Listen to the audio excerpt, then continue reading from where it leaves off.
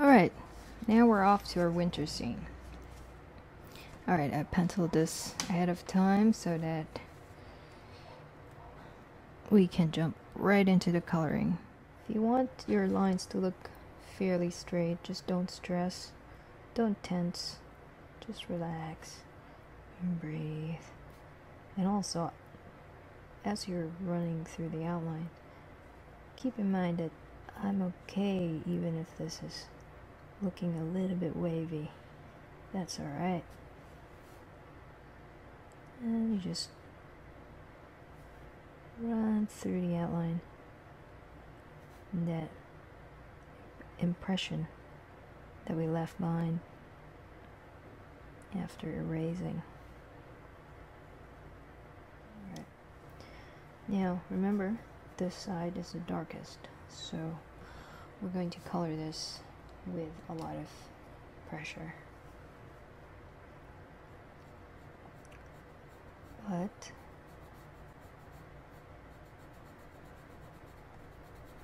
yep. Let's just run through it in this angle.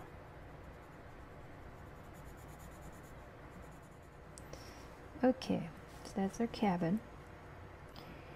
And uh, need to color the other elements that would need to be in this color. So we have the fence here. We'll just color them like that. It's okay if we don't fill them all in. We don't fully saturate it with color because we want it to look like there's wood grain showing and also maybe some snow stuck to it so now we're going to run through the fence like that.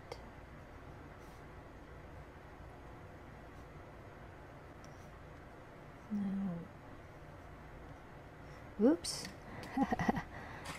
Sometimes get carried away.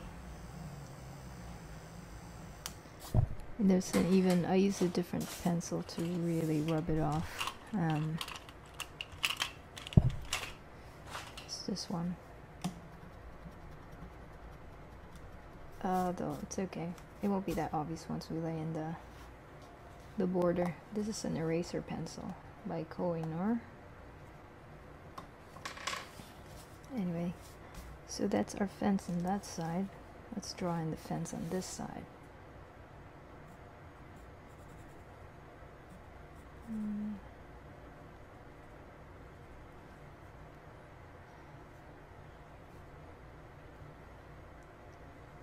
then there. Oops, that's the fence there, fence post. There.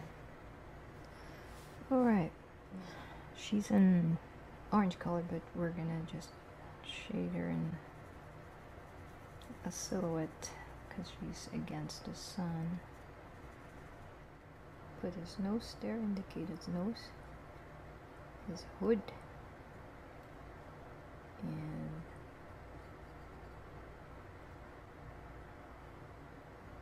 this bag backpack. This is also against the sun so we'll just color that in as well. And there. We can actually put a highlight on the little wolf here. Indication that she is actually red orange in color, but leave her mostly in the shade like that. Another one there. So we go further, farther, and higher up.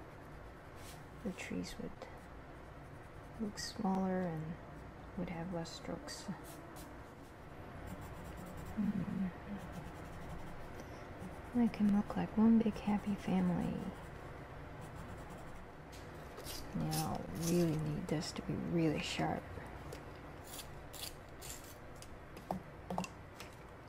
It, this is why it's good to have two, two pencils of each color, so you don't have to keep sharpening it. Okay, very distant trees. Tiny, tiny trees. Just, just an indication that we're all the way here. Okay. Let's see what we're gonna do with this foreground. I don't feel like covering it all in blue, so I'll just highlight it. Let's see this little marking that I did here was cut cut away.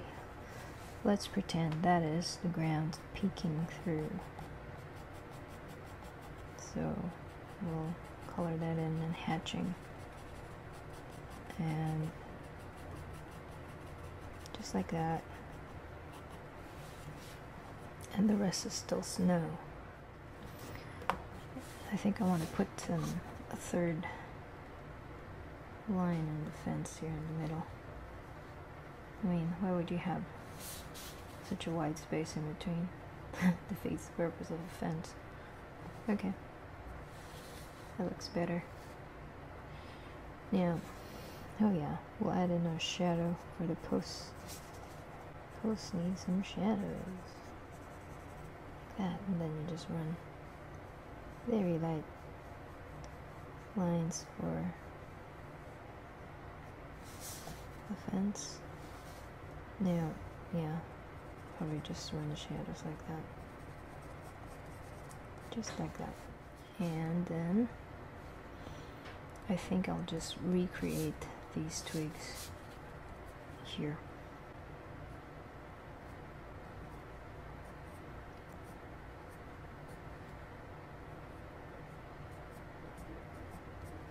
Let's color in the sky. So the sunset sky. So this is our sun here.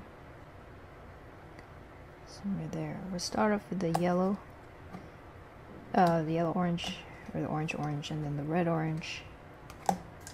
And then pink, and ultimately Payne's gray.